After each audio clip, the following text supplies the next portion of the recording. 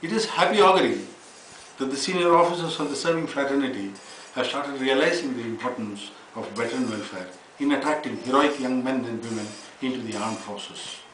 During his recent visit to Chennai for the inauguration of the Golden Palm Trimedium expedition, the Army Commander of Southern Army, Lieutenant General Pradeep Khanna, said so. He said, earlier, ex-servicemen welfare was centered around Punjab and UP alone. But now they have realized that over 56 lakhs ex-servicemen of the four southern states have been neglected. More needs to be done. The Rajya Sainik Board and Zilla Sainik Board have to be revamped and ex-servicemen and has to be made more ex-servicemen friendly and proactive. Another aspect that would require looking into would be the ECHS. There is a crying need for an ECHS polyclinic at Tambaram.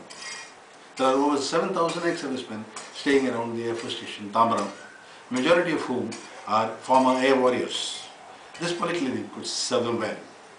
I'm, I hope that this point will be discussed during the forthcoming meeting of the polyclinic officers in charges meeting that is coming up by the end of this month at Chennai.